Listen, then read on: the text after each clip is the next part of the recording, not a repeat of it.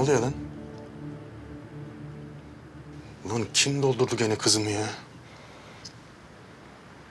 Cihan Gürpınar.